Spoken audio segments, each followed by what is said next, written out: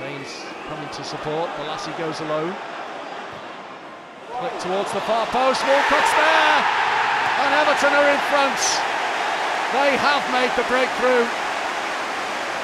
14 minutes into this second half, it may well go down as an own goal off Gaetan Bong, but Theo Walcott takes the uh, credit for getting in there. But you cannot deny that Everton deserved that lead. An own goal it may be. It's Everton 1, Brighton nil. Baines.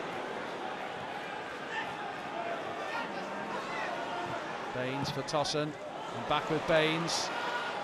Still Baines. Picks out Tosun again. Brilliant from Everton. Absolutely wonderful. This was great football between Baines and Cenk Tosun. Baines picking him out finally, and Tosun with the emphatic finish off the underside of the crossbar.